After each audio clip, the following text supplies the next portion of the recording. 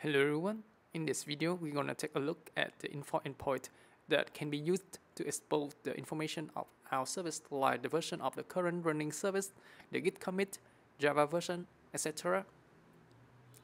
Okay, first of all we need to expose the info endpoint. So as we did in the last video, we for the health endpoint, we also want to expose the info endpoint this time. And let's see what it's going to give it. Then I will run application.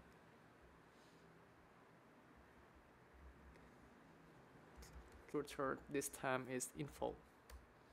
So basically, even we export the info endpoint, but there's no information. Okay, let's back to our documentation. Remembered from the last video, in health endpoint, we have many provided health indicators. So similar for info endpoint, we also have the info contributors auto-configured for us as well, like build environment, Git, Java, operation system. In those, build and Git info are enabled by default. Meanwhile, the environment, Java, and operation system are disabled. Okay, let's confirm them in our IDE. So here we have management, info, right, management, info, and see we have OS disabled, Java enable equal files right disabled, environment disabled, but the build and the git is enabled by default. So build and git enable.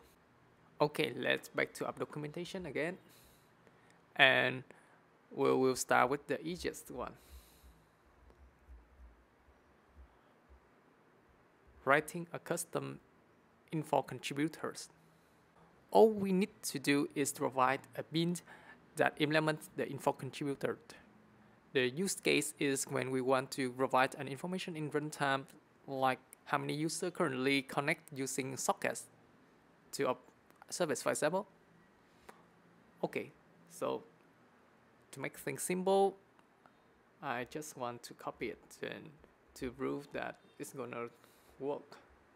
So for example, server contributed, then I'll copy this one, just, okay.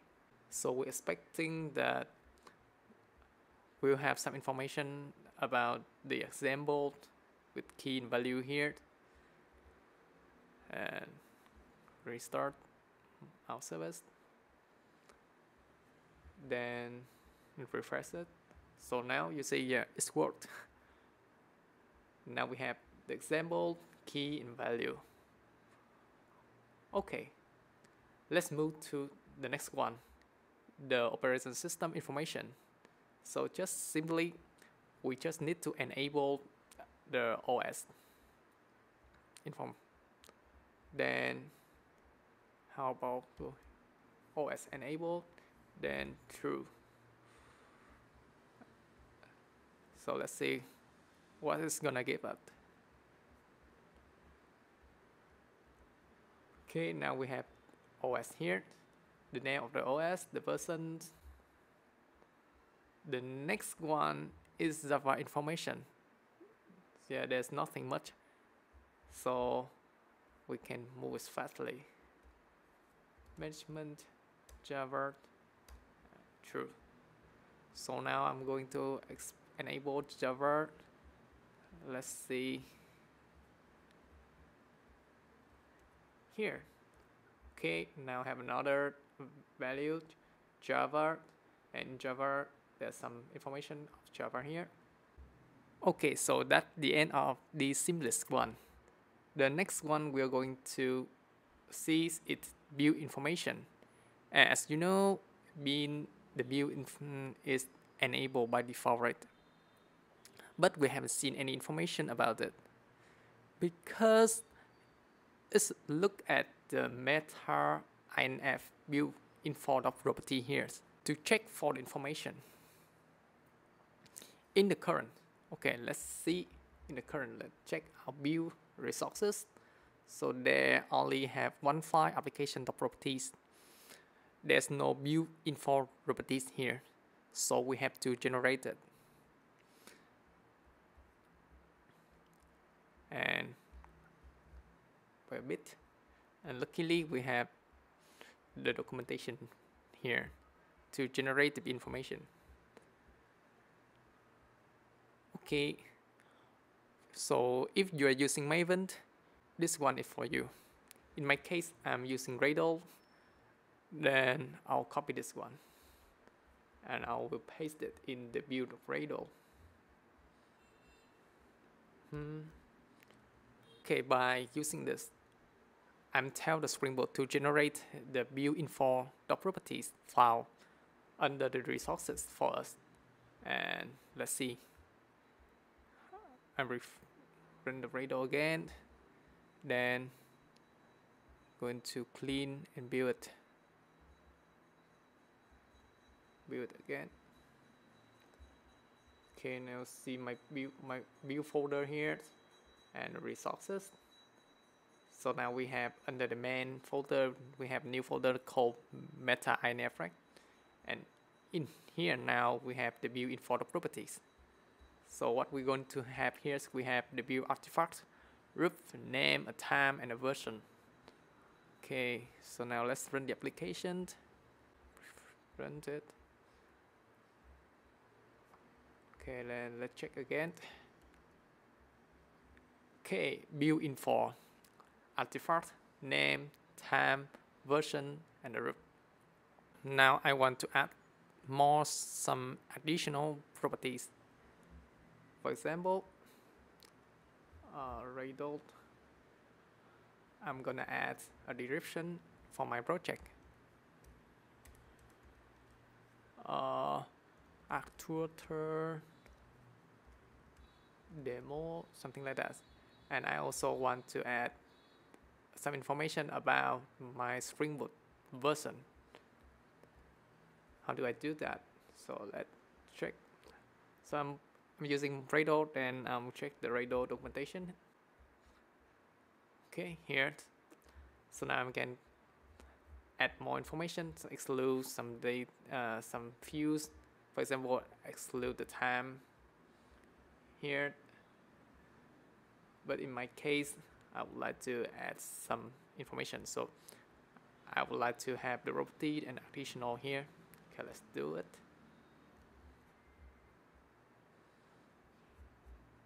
view import so this time view info property addition properties. Then description. Like to add description. And Spring Boot version. For example I'll copy my Spring Boot version. And the description is from the project description. Okay. I just want to check again. View clean build. This is okay? So resources. View info properties. Okay now I have the descriptions and the Spring Boot version here. That's good. So it must be appear here I'm going to reload this one.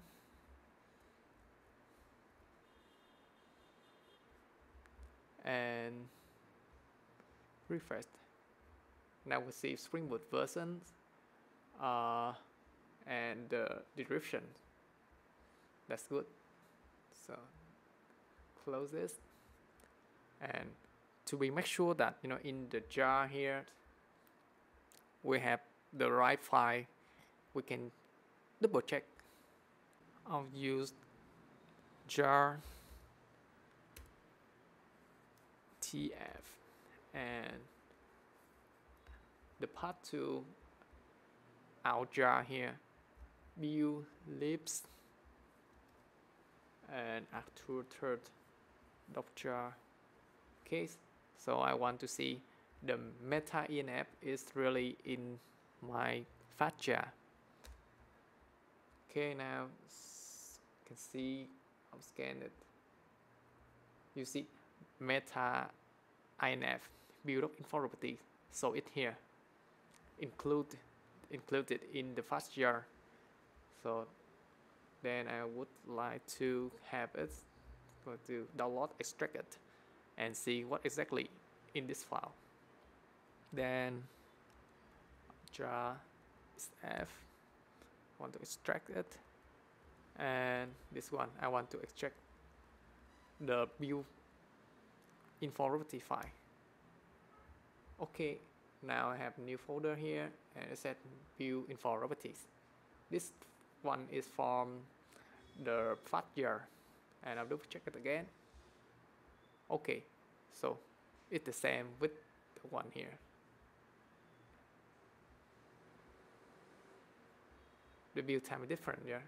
Okay so everything so good so far. I'm going to delete it. Just want to double check and it's good. Okay let's go ahead and move to the next one. Next one is the git commit info. Git information is also enabled by default and it also doesn't show any information for us in the info page right?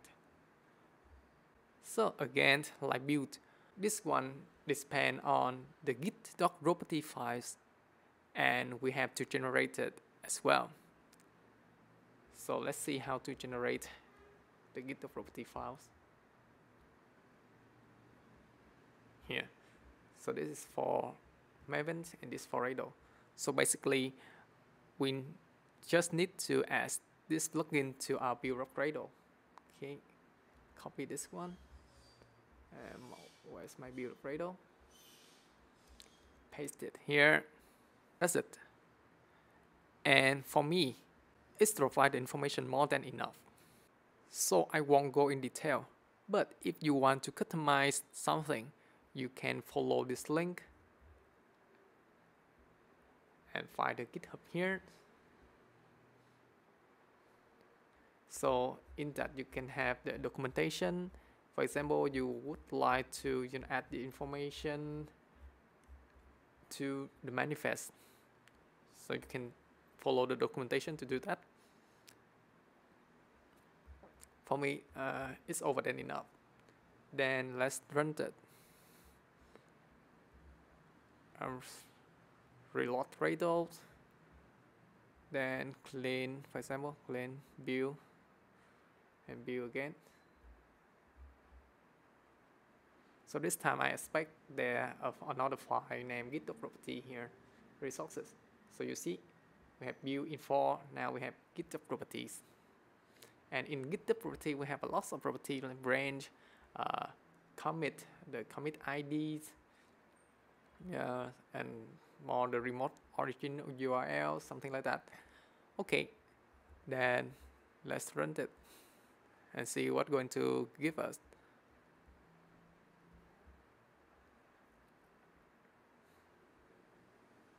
Okay, so import, now we have a git.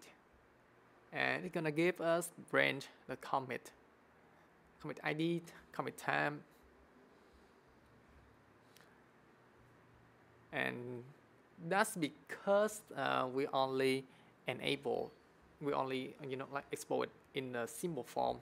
So if we would like to show all the information here uh, we can add an information to properties like management uh, git mode so the current mode is simple so that's why we only see uh, three properties branch commit ID commit time. But I would like to get a full information. Then I'll change it from simple to full and reload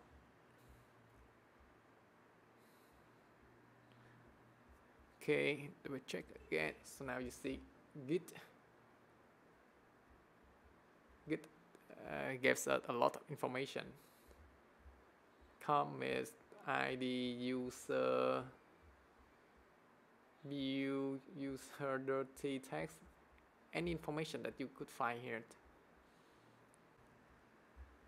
Okay let's move on to the next one and also the last one the environment information. This one is disabled so we have to enable it first. Then going to enable environment enable. True. Okay so I enable environment but we still have to provide some environment. So any environment uh, have prefix info will be shown in the info contributor environment contributor. Okay so for example let's say I would like to have this one. They also have info prefix. For example what if I don't have it? So like decoding? Okay. And I'm going to restart the application.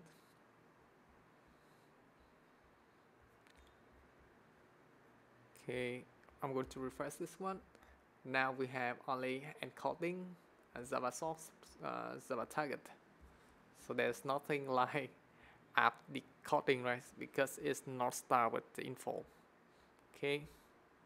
Don't need this one I also want to test giving the environment variable from the real environment variables.